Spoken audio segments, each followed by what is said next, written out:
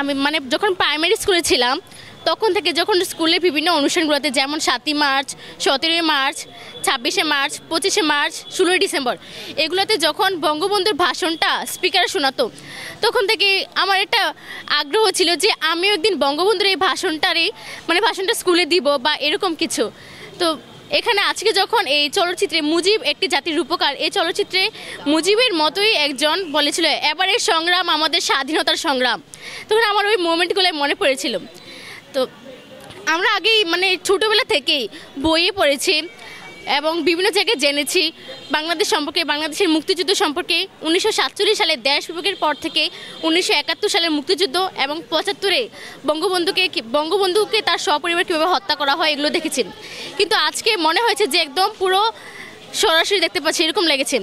আমি ছোটোবেলায় একটা বই পড়েছিলাম যে শেখ রাসেল এবং শেখ রাসেল এবং শেখ হাসিনা, তার শেখ রাসেল এবং শেখ হাসিনা একসাথে বসেছিল। আচ্ছা একটু একটু এগুলো ক্রপ করে বঙ্গবন্ধু বঙ্গবন্ধু কিন্তু তার জীবনের অর্ধেকেরও বেশি সময় জেলে কাটিয়েছিলেন এবং তিনি যখন বাসায় আসতেন মানে আসার সাথে সাথে আমরা দেখতে পেলাম যে তার একটা একটা করে টেলিগ্রাম চলে আসতো যে বঙ্গবন্ধুকে করাচিতে যেতে হবে বঙ্গবন্ধুকে কলকাতাতে যেতে হবে এখানে ওখানে যেতে হবে।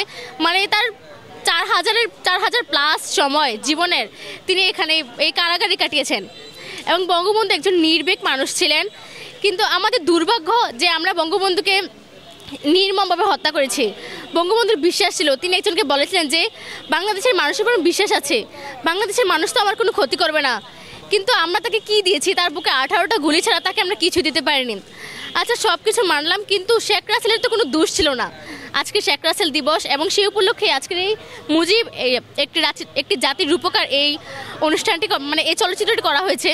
কিন্তু শেখ রাসেলের তো কোনো দোষ ছিল না, তাকে কেন এভাবে নির্মমভাবে হত্যা করা হয়েছে? এই জায়গাটা আসলে অনেক হৃদয় বিদারক ছিল।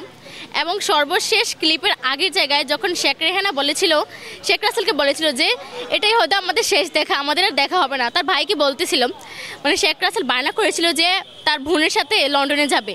কিন্তু শেখ রেহানা এবং শেখ হাসিনা মানা করেছিল। ভাগ্য ভাগ্য ভালো ছিল যে, তারা ওইখানে চলে যাওয়ার কারণে বেঁচে গেছে। এবং আমরা ইনশাল্লাহ ইনশাল্লাহ আমরা শেখ মুজিবের শেখ মুজিবের যে স্বপ্নটা ছিল একটি সোনার বাংলাদেশ গড়ার, সে প্রত্যয়ে সে প্রত্যয়ে এই দেশকে আমরা নাগরিক হিসেবে, নিজেকে দক্ষ নাগরিক হিসেবে গড়ে তুলতে পারব। ইনশাল্লাহ, আর এই আজকের এই চলচ্চিত্রটা যারা নির্মাণ করেছেন, তাদেরকে অসংখ্য ধন্যবাদ।